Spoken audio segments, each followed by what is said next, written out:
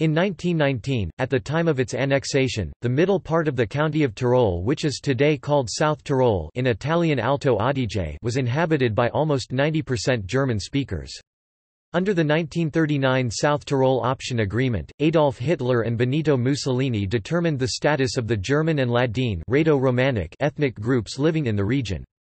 They could emigrate to Germany, or stay in Italy and accept their complete Italianization. As a consequence of this, the society of South Tyrol was deeply riven. Those who wanted to stay, the so-called Dableiber, were condemned as traitors while those who left were defamed as Nazis. Because of the outbreak of World War II, this agreement was never fully implemented. Illegal Katakombenschulen catacomb schools were set up to teach children the German language.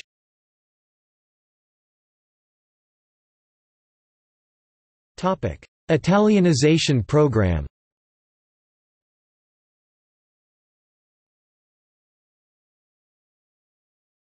Topic: Fascist period 1922 to 1945. In 1923, three years after South Tyrol had been formally annexed, Italian place names, almost entirely based on the Prontuario dei nomi locali dell'Alto Adige, were made official by means of a decree. The German name, Tyrol, was banned, likewise its derivants and compound words such as Tyrolean and South Tyrolean. German newspapers, publishing houses, organized clubs and associations, including the South Tyrolean Alpine Club had to be renamed, with the decree said to have been strictly enforced by Italian carabinieri on the ground. The basis for these actions was a manifesto published by Ettore Tolomei on July 15, 1923, called the Provvedimenti per l'Alto Adige Measures for the Alto Adige, becoming the blueprint for the Italianization campaign.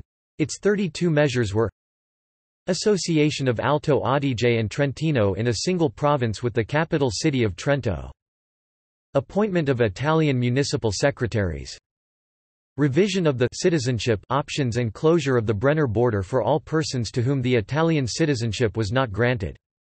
Entry and residence difficulties for Germans and Austrians. Prevention of German immigration.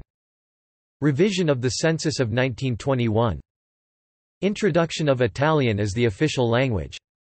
Dismissal of German officials or transfer to the old provinces i.e. pre-war Italian provinces. Dissolution of the Deutscher Verband German association. Dissolution of Alpine associations not under command of the Italian Alpine Club, transfer of all Alpine refuges to the Italian Alpine Club. Prohibition of the name Südtirol and Deutsch Südtirol. Closure of the newspaper published in Bozen, Der Tiroler. Italianization of German local names. Italianization of public inscriptions. Italianization of road and path names. Italianization of the German surnames. Removal of the Walther von der Vogelweide monument from the Walther Square in Bozen. Increasing of Carabinieri troops in the province under the exclusion of Germans. Preferential treatment for land acquisition and immigration of Italians. Non-interference by foreign powers in South Tyrolean affairs. Elimination of German banks, establishment of an Italian mortgage bank. Establishment of border customs offices in Sterzing and Toblach. Generous support of the Italian language and culture. Establishment of Italian nursery and primary schools. Establishment of Italian secondary schools. Strict control of foreign university diplomas.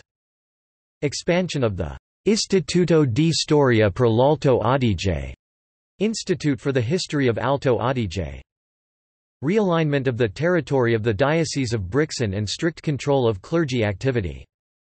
Using only Italian in trials and court. State control of the Chamber of Commerce and the agricultural authorities Corporazioni. Extensive programs for new rail junctions to facilitate the Italianization of Alto Adige rail projects Milan Mals, Veltlin Brenner, Agordo Brixen. Increase military garrisons in Alto Adige. In October 1923, the use of the Italian language became mandatory on all levels of federal, provincial, and local government. Regulations by the fascist authorities required that all kinds of signs and public notices had to be in Italian only, while maps, postcards and other graphic material had to show Italian place names. In September 1925, Italian became the sole permissible language in courts of law, meaning that cases could be heard from now on only in Italian. The fascist law regulations remained in effect after World War II, becoming a bone of contention for decades until they were eventually reconsidered in the 1990s. The German language press, which was still published, was harassed by the authorities and subjected to censorship prior to publication. In 1926 the fascist authorities began to publish their own German-language newspaper, the Alpenzeitung. Other German-language papers were obliged to follow a strictly pro-regime editorial policy. The program of Italianization was particularly forcefully applied in schools, aiming at the destruction of the German school system. As of 1928, Italian had become the only language of instruction in 760 South Tyrolean classes, affecting over 360 schools and 30,000 pupils.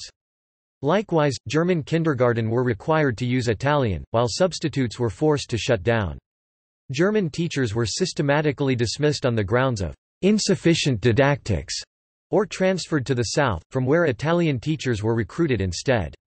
Degrees from Austrian or German universities became valid only through an additional stay of one year at an Italian university. In religious affairs, a royal decree of November 1923 required religious instruction in Italian for all Italianized schools. Fascist calls for the Italianization of German charitable organizations, religious orders and the complete abolition of German religious instruction to the Vatican were not entirely successful, not in the least due to the repeated interventions of the Bishop of Brixen and the setting up of informal parish schools.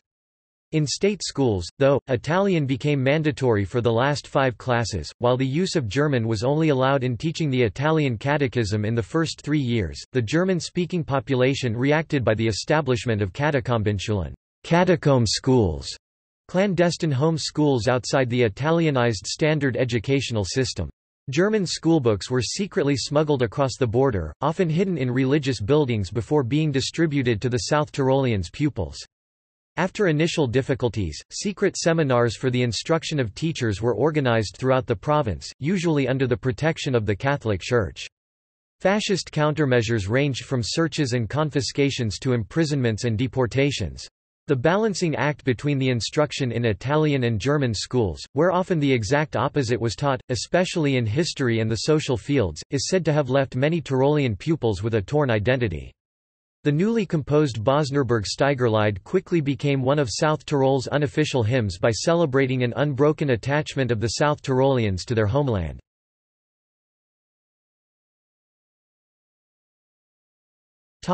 Post-war period After the end of the Second World War, reform processes tolerated the dual use of names on street signs, while the Italian names remain as the official ones, based on the 1940 law.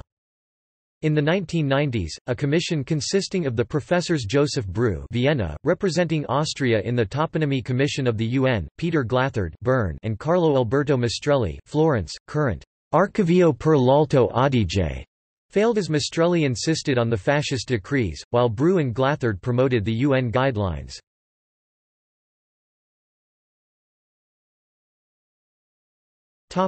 See also